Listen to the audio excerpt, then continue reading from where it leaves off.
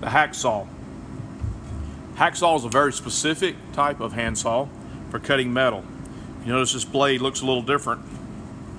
It actually has this little set of ridges that go all the way down it and very fine tooth. They have adjustment in the frame to where you can tighten it on this one. It tightens here. The blade just hangs in two little teats, one at the bottom, one at the top.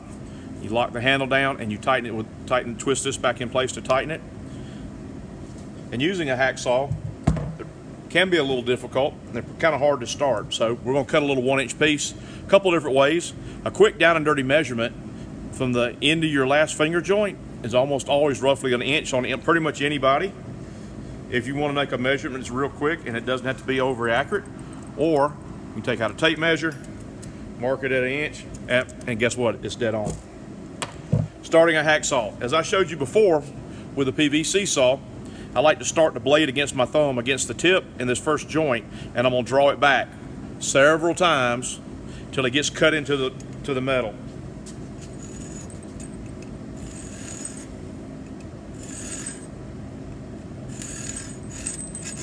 Then once you get it, think you've got it started, you can try the sawing action.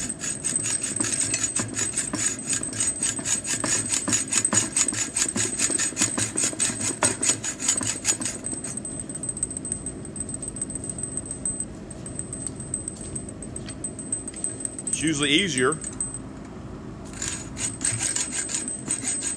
to hold the one piece because you want to lessen all the vibration you can because this will take a little bit and it was prone to getting stuck. Don't be surprised if you dig and it stops. You have to work it free, lay it back in the kerf you made, drag it back a few times to get it cleaned up.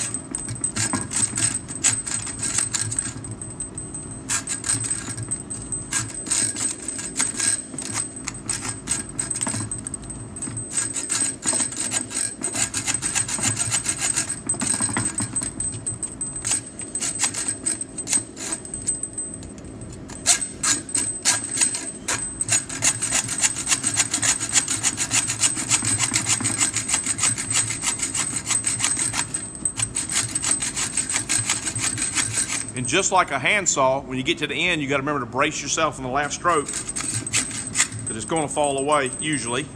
This time it didn't. And if you look at this little cut, it's got a lot of burrs around the edge. That's what we use a deburring tool to clean it up on the metal pipe. This right here is a steel pipe.